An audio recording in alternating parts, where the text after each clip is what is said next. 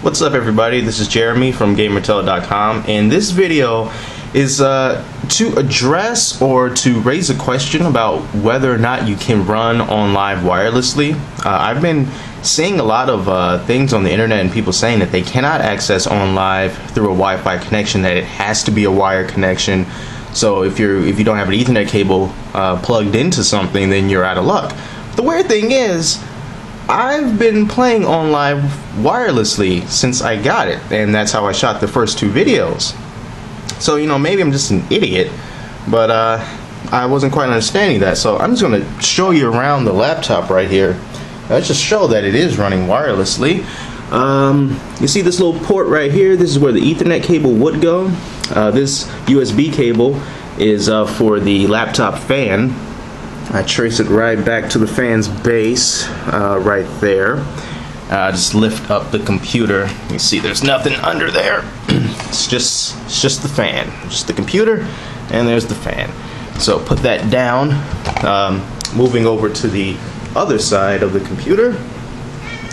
That's the cat. Don't worry about that. Uh, this is just where my mouse is plugged into. Uh, this is my power cable, power cable that goes to the wall and on the back is just the uh, back of the uh, fan here. So there's nothing there's no other cable coming from the computer. I'm gonna go around to the front to show you uh, that my wireless is turned on.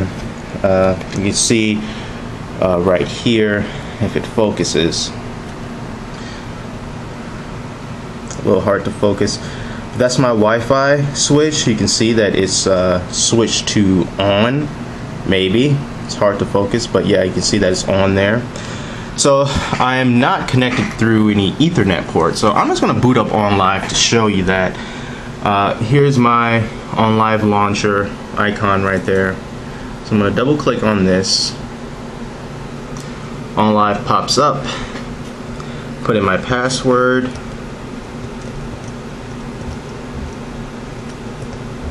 With one hand. Enter that. And you see, pardon the shakiness, I'm joining OnLive. Still joining OnLive.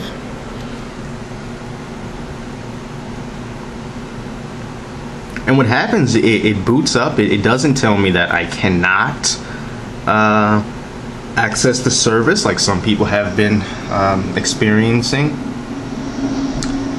So besides me in the background there, you can see OnLive service uh, is booting up. Let me kill the light so you won't see my reflection.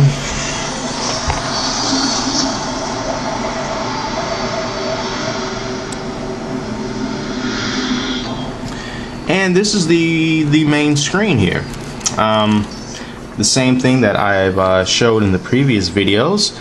And let's just give it a little test here. I'm going to move to uh, Arena, click on that.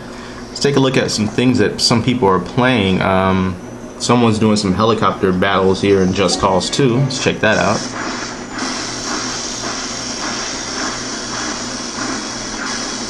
Serious ownage right there back out of that. Uh, let's see what else is going on. Someone's doing some serious smashing in Red Faction Guerrilla.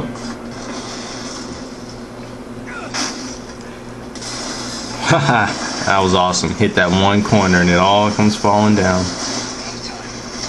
Almost got caught up in that too. Alright, back out of that. Let's do one more uh, Borderlands.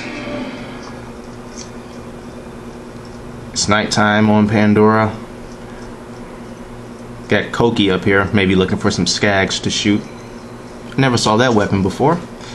Anyways, nothing going on there. So, back out of that. And so I was wondering that perhaps maybe you can watch other people play, but maybe you just can't play your own games. Well, we'll just see. We're going to go to My Games right here. Splinter Cell Conviction. Play now. And we wait.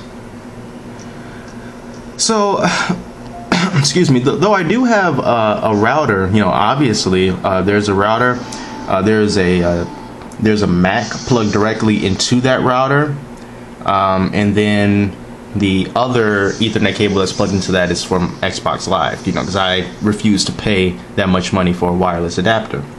Those are the only thing plugged into the wireless router. And I wouldn't imagine that those have anything to do with the internet connection on my laptop at all. So here it is, Splinter Cell Conviction. Press any key.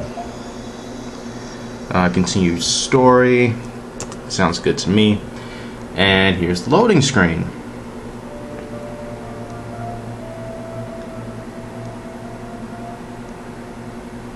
I have not played this since uh, the first video or the second video that I did demonstrating how it runs.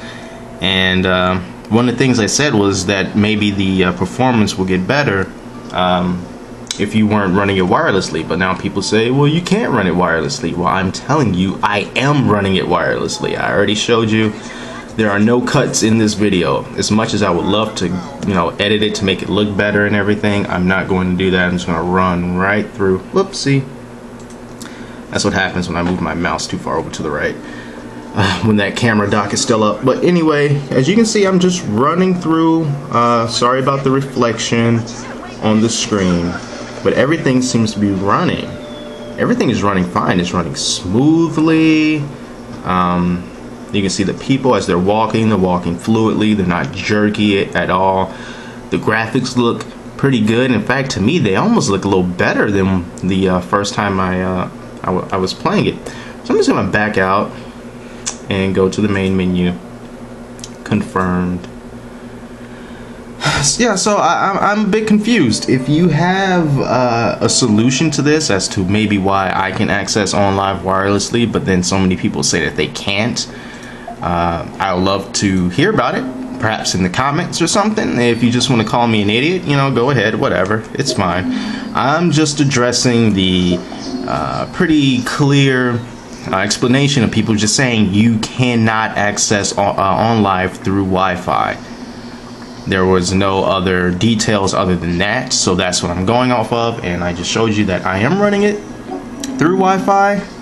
Your performance may vary, but uh, yeah, let me know if this works for you wirelessly or not, and um, maybe OnLive will have something to say about that. So, until then, uh, this is Jeremy from GamerTell.com running OnLive with no wires.